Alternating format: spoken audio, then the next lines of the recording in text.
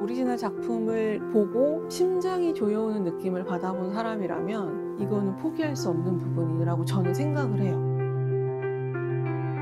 그림의 존재라는 자체만으로도 마음의 안정을 줄 수 있는, 평안을 줄 수 있는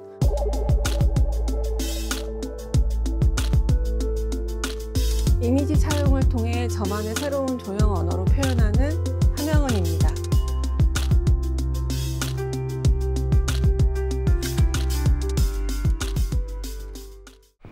어, 안녕하세요. 안녕하세요. 어서 오세요. 어, 잘 지내셨어요? 아, 네. 뭐 이사하고 정신없이 지내고 있습니다. 여기 온 지는 그럼 얼마나 됐어요? 지금 한 넉 달? 아, 넉 달? 넉 달 정도? 공간이 진짜 너무나 약간 샵에 온 느낌? 그럼 안 되는데? 작업실 같아야 되는데? 잘 정돈돼 있어가지고 아무래도 또 이제 작품 자체가 입체적으로 있다 보니까 더 그럴 수도 있는 것 같아요. 조각하시는 선생님들이 여기는 조각가 작업실이다. 아, 왜냐면 지금 숨겨놨는데 온갖 공구가 저는 다 있어요. 컴프레셔부터 음. 직소, 타카도 뭐 종류별로 전기 타카, 무슨 타카 다 있고 원래 전공은 사용 아, 네네. 그러니까 발을 한쪽에 담그고 있는 조각 쪽이랑 담그고 있는 그러면은 원래 그 예전부터 약간 좀 입체 작업을 좋아하셨나요? 그게 제가 이제 풀어야 되는 숙제였어요. 저는 캔버스 네모난 데다 그림을 그리는 게 너무 힘든 거예요. 아, 학교 다닐 때. 네, 그러니까 뭔가 대상을 그리면 그 나머지 여백 의 부분을 그냥 칠한다는 게 용납이 안 되는 거예요. 어. 왜 누군가 정해놓은 사각형 프레임에 나는 그림을 그려야 되나. 음. 그러니까 그때부터는 막 캔버스를 안 사고 나무를 사서 자르고 조각을 하고 막 이렇게 하니까 선생님들이 이제 혀를 차셨죠. 너 뭐하니? 막 이러면 그러니까 작가님만의 어떻게든 그 판을 만드셨네요. 그런 셈이죠. 변형 캔버스죠. 이게 음, 보통 아, 그렇죠. 보면. 변형 캠퍼스. 그래서 제가 걸리는 작품이 그 벽이 캔버스가 되는 거고 음. 작품이 걸리면 이제 작가의 붓질이 되겠죠. 정말 사각형이 많잖아요, 우리 주변에. 그렇죠. 네. 벽도 다 사각형이고 그러니까 그 사각형 안에 제가 그림을 그린다는 개념으로 작품을 거는 거죠. 아 이게 그 변형 캠퍼스라 했는데 네. 제 자체가 캠퍼스는 아니죠. 주 재료는 포맥스예요. 아 좀 딱딱한. 그러니까 포맥스가 플라스틱인데 보통은 이제 간판재로 많이 음. 쓰는 재료인데 wood foam을 좀 압축시켜 놓은 플라스틱이라고 생각하시면 돼요. 그러니까 주로 이제 재료는 방산시장, 을지로 하- 그쪽이나 뭐 그쪽으로 이제 돌아다니면서 주문을 하고 주 거래처도 다 그쪽에 있죠. 아 그러니까 이게 포맥스를 네. 커팅을 하셔가지고. CNC 커팅을 해서 다 잘라오고 그? sanding을 하고 gesso 얹고 coloring 하고 제가 그 다음부터 진행하는 거는 조립하듯이 조립하시듯이 네. 아 이렇게 지금 이 작품 같은 것도 이런 게 쌓여가지고 layer를 하나하나 이제 올리면서 벽면에서는 이제 튀어나오게 되는 부조 형태가 되는 거고 그렇죠, 그렇죠. 이거 보면 두께가 있으니까. 네, 그러니까 flat한 재료들이 얹어지면서 layer가 생기고 입체감이 생기고 공간이 생기죠. 지금 음. 다 다른 거죠. 네. 그러니까 제가 이미지 차용을 해서 그거를 저만의 해석을 다시 해서 만들잖아요. 보시면 뭐 리스텐슈타인의 브러쉬도 있고 제 브러쉬도 있어요. 그분의 붓터치와 저의 붓터치를 합쳐서 두 작가가 계속 협업을 하고 있는 식으로 그러면서 이미지 차용을 저는 이렇게 했다라는 기본 베이스 이론이 있고 그것을 이제 색감이나 형태나 변형을 주면서 거기서 다시 나오는 이론적인 부분을 요즘에 좀 연구를 하죠. 그러니까 어떻게 보면 이 형태들은 계속 다를 거 아니에요. 이 겹겹 layer 사실은 쌓이니까. 그 기본 프레임은 몇 가지로 정해져 있어요. 이게 너무 중구난방이면 저도 아, 힘드니까 그렇지, 그렇지. 제가 정해놓은 패턴이 이제 1번 브러쉬, 2번 브러쉬 이렇게 있고 크기는 조금 변형이 되고 색깔도 변형이 되고 제일 중요한 건 제 그날 그날의 기분에 따라 굵은 선이 나오기도 하고 정말 잘 그려지는 날도 있고 나 작가 맞아? 이런 날도 있고 그 지금 보면 여기 있는 형태랑 좀 여기도 마찬가지로 좀 형태가 좀 음, 다르고. 네, 네. 그럼 예전에 제가 이걸 오렌지 컬러로 그라데이션을 한 본 적이 있는데 반응이 좀 괜찮았어요. 아, 그러니까 모 호텔 로비에 걸려 있거든요. 근데 요즘에는 또 핑크가 또 그렇게 좋더라고요. 음. 근데 아시죠? 이 핑크 정말 구현하기 힘들어요. 사실 이거는 우리가 핑크라고 하지만 아, 거의 그쵸. 마젠타 그쵸. 계열이 강하잖아요. 그 마젠타 계열이 사람을 미치게 합니다. 아 그렇죠. 그러니까 미묘한 차이인데도 불구하고 사실 네, 아무리 얹어도 달라지고 가장 최근에 제가 좀 유치하다고 생각하면서 작업했던 게 하트 형태로 작업을 했어요. 핑크 계열로 작업을 하는데 말씀하신 것처럼 같은 핑크지만 그 핑크를 만들 때마다 물을 몇 방울 넣느냐, 흰색을 몇 방울 넣느냐에 따라서 완전히 달라지잖아요. 그렇죠. 그날 그날 그래서 만들어지는 핑크로 하나하나 조각들을 만든 거예요. 아. 그러니까 반드시 그날 그 물감은 그날 끝나야 되는 거예요. 그렇죠. 여러 가지 수십 개의 조각을 만들어서 하나의 하트의 형태로 만들면서 다양한 사랑의 형태? 근데 그렇게 됐던 계기가 이제 최근에 아빠가 좀 많이 편찮으시게 돼서 그러면서 이제 좀 철이 들었는지 뭐 이런저런 다양한 세상의 사랑에 대한 생각을 하다가 연인 간의 사랑도 있고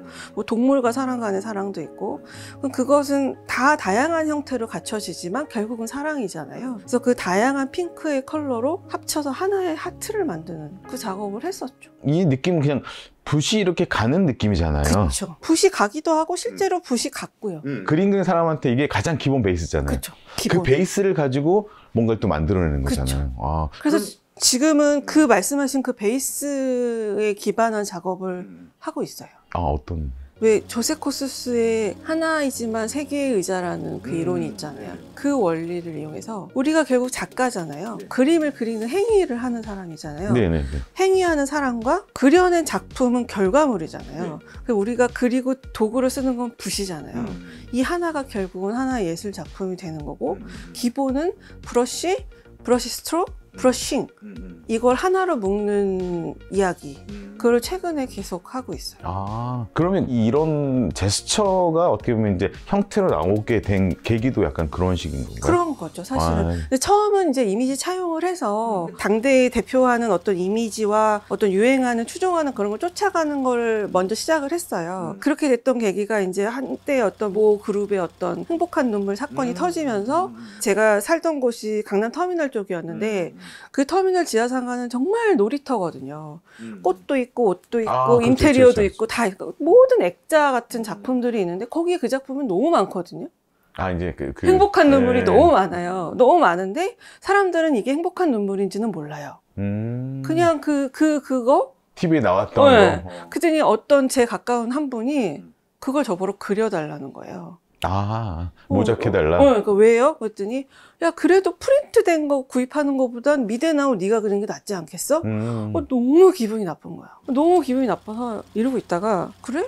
그럼 한번 이걸 좀 이용해 볼까 하고 그런 생각을 했던 것 같아요. 음악에서도 어느 부분을 뭐 가지고 오거나 인용하거나 하는 부분이 있는 것처럼 앤디 오홀이나 이런 사람들도 당대 유명한 코카콜라 이런 걸 이용한 것처럼 예술 작품의 매체나 이미지를 나도 그냥 한번 그럼 차용을 해보자. 그래서 그걸 내 식으로 변형을 시키고 내 이야기를 조금 더 넣고 다른 조형 언어로 표현하자. 내 특성을 살리자 해서 나온 게 이런 반입체 작품이 되는 거죠. 혹시 이거 이거 이거 이거? 네, 요런 아. 식이죠. 그래서 처음에는 원래 요 벽을 이용한다는 생각을 못 하고 음, 그 벽을 제가 다시 만들었어요. 프레임을 네, 만들어가지고. 벽 안에 그림을 넣었어요. 음, 지금 이런 형태의 느낌으로. 네, 그렇죠. 아, 평면으로 돼 있던 이미지를 음. 제가 도안을 하나하나 다시 자르고 하루 이제 날 잡고 조립하는 거예요. 그래서 나오면 이렇게 어떻게 보면 그러니까 이건 하나의 그냥 그 머리카락이 아니라 그냥 터치. 그냥 하나의 예, 어. 붙어치기도 어. 하고 하나의 요소이기도 하고 음. 이 작품을 만들어내는 그냥 혈관, 세포 뭐 이런 느낌이 되는 그럼 거죠. 어떻게 보면 이게 지금의 이 작업보다는 더 먼저 나왔겠네요? 약간 먼저 나왔죠. 시도는 그렇게 됐었고 근데 저런 브러쉬 작업을 하게 됐던 이유는 제가 공모가 됐어요. 어떤 그러니까 가나아트에서 진행하는 공모였는데 같이 협업했던 그룹의 본사 건물을 지을 때 각 파트를 작가들한테 다 주신 거예요. 너는 여기, 너는 화장실, 음. 너는 이쪽 입구 벽면. 그래서 그 작가들이 다 모여서 건물 하나를 만들었어요. 오. 그래서 저는 화장실을 맡았는데 어. 화장실. 화장실을 뭘 하지? 또 막 고민 고민을 하다가 제일 큰 존재가 뭔가 했을 때 거울이었죠. 음. 그래서 그 거울을 내 걸로 만들어야지. 해서 나온 게 저 아. 스타일. 이것도 그 뒤에 다시 제가 만들었어요. 아, 그때 나는 없으니까. 그래서 이제 뭐 남자 화장실은 조금 blue톤, 뭐 여자 화장실은 뭐 약간 yellow 톤이나 좀 만들었죠. 상당히 어떻게 보면 발상의 전환이랄까? 도전이죠. 이- 이거는 좀 느낌이 좀 달라가지고. 이게 이제 요, 요 작품이 사실 안 끝난 걸 수도 있어요. 아직? 제가 이 작품을 이제 시작하게 된 계기는 요즘에 이제 인스타그램이나 뭐 SNS가 너무 많잖아요. 근데 그러면 이제 뭐 집에 막 멋있는 그림들이 걸려 있고 근데 유난히 띄는 작품이 마크로스코 포스터인 거예요. 음. 관객들한테 내 작품을 위해서 울고 가라는 의도를 가지고 있는 거예요. 음. 그래서 어, 왜? 그래서 이제 그 작가를 막 연구를 하다 보니 일부러 빨리 건조되는 어떤 약품을 써서 물감을 빨리빨리 건조시켜서 수십 번으로 계속 얹는 거예요. 음. 그럼 이 작가는 지금 행위를 하고 있잖아요. 음. 어? 비슷하네? 라는 생각이 들면서 이제 그 작가를 계속 지금 연구하고 있거든요. 나름은. 로스코처럼 뭐 red, orange, yellow 이런 식으로 해서 물론 다양하지만 하나로 보였을 때는 전체 음. 톤으로 한 톤으로 되도록 해서 그러다 보니까 이제 조각들이 계속 올라가고 이 정도면 됐을까? 하고 나와서 보면 아, 안 됐어. 그또 다시 얹고. 근데 어떻게 보면 사실 작가님 같은 경우는 벽면 자체가 펴- 캔버스잖아요. 그쵸. 캔버스에 따라 이 행위 자체가 계속 가니까 제스처를 하고 있는 거잖아. 그쵸. 저는 그 벽에다 그림을 그리고 있는 그러니까, 과정인 그러니까. 거죠. 네네. 약간 이건 좀 지금 이거하고 좀 느낌이 다른 것 같아. 붙인 느낌이 아닌 네. 것 같은데. 이 작품 같은 경우는 브러쉬에 대한 어떤 의미 자체, 제 행위에 대한 자체, 결과물에 대한 자체를 고민하던 중에 이거를 한 번에 몰아서 표현을 하고 싶다. 그럼 모르려면 압축해야 되고 보여줘야 되고 보여주고 싶은 마음에 아예 노골적인 브러쉬를 썼고 그다음에 제 작품의 일부를 어떤 틀 안에 가두면서 다시 그 모든 내용을 압축해서 보여주려고 했는데 뭔가를 만들고 싶은 본능은 없어지지 않아서 제 브러쉬 라인을 다시 다 칼로 잘라서 위에 붙이면서 또 다른 재료를 resin이라는 걸 써서 그 부분을 더 도드라지게 강조를 시킨 거거든요. 그러니까 결국 은 그리는 행위를 강조하고자 하는 내용이 담겨 있어요. 이런 그 작가님만의 시그처가 있기 때문에 네. 예전에는 사실 프레임 자체를 번- 벗어나려고 했다면 네. 지금 프레임 안에 들어와서도 사실 이게 보인다는 거잖아요. 그죠. 이제 원형으로 규격화되어 있는 어떤 또 틀을 제가 정해놓은 틀을 다 제작을 하고 음, 음. 그 제작한 안에 노골적인 이미지를 아예 넣었어요. 아, 그러니까 다카시의 이미지의 일부, 카우스의 일부, 작품을 감히 제가 또 차용을 해서 그 부분을 제 브러쉬의 이미지들로 덮었어요. 그 뒤에 이미지를 가려지도록 덮었거든요. 네네. 안 덮어지더라고요, 사람들의 인식이. 어. 그러니까 그만큼 꽃 하면 누구, 뭐뭐 하면 누구라는 그 박혀있는 인식은 잘 바뀌지 않더라고요, 사람들이. 저는 그거를 좀 깨보고자, 타파해보고자 그런 시도를 했으나 아무리 반짝이는 재료를 써도 사람들은 그 뒤에 이미 강렬한 이미지들만 보더라고요. 어떻게 보면 사실 그 뒤에 있는 작업 이미지를 붓으로 이렇게 한번 layer를 친 거네요. 그죠. 네. 그것도 사실은 좀 어느 정도 비판의 의미도 있어요. 그러니까 제 작업의 시작이 사실은 비판하는 자세를 가지고 시작을 했던 거라 무라카미 타카시나 카우스 같은 경우에 본인이 직접 그리지 않는 경우들도 많잖아요. 그러니까 공장형이라는 그 시스템을 운영을 하고 있기 때문에 그럼 공장형이라는 걸 했을 때 아이디어를 제공한 작가와 그림을 직접 그리는 행위를 하는 작가와 어떤 게 더 가치가 있을까라는 얘기도 해볼 수 있는 거죠. 음, 그 브러쉬를 통해서. 네. 그러니까 저는 다 직접 그리는 거죠. 프린트를 했어도 되는데 직접 그 작가를 생각하면서 그리기도 하고 그러니까 선도 좀 삐뚤빼뚤하기도 하고 완벽하지 않기도 해요. 상당히 좀 그래도 의미가 있는 작업이잖아요. 우리 붓의 행위 자체가 네. 그림에 생체를 낸 느낌이 든다 어, 할까? 그, 그거예요. 음, 느낌이 상당히 좀- 감히 그렇게 해봤어. 감히. 그리고 또 지금 작가님 보니까 이렇게 지금 아트토이라고 하나요? 네. 상당히 좀 다양하게 하시잖아요. 작가는 제주를 한 곳에 몰아야 된다고 저한테 계속 얘기를 해주시는 좋은 선생님이 계셨는데 하고 싶은 게 너무 많아요. 어, 해보고 싶은 게 너무 많아서. 지금 딱 봐도 보여요. 그러니까 저는 여기가 오면 너무 재밌는 거, 즐거운 게 다 있어요. 그러니까 제가 터프팅도 하고요. 그러니까. 그러니까 터프팅이라는 건 단어가 생기기 전에 이제 카페트, 러그를 만들어 보고 싶어서 수소문해서 수료를 했어요. 그러니까 그게 결국은 제가 왜 다시 브러쉬라는 그 용어와 작가의 행위와 그거에 대한 의로, 이론으로 다시 가게 됐는가를 생각해 보면 하고 싶은 게 많고 궁금한 게 많다 보니까 음. 궁금한 거를 해결하기 위해서는 나부터 해결을 해야 된다. 그런 생각이 들지 않았을까.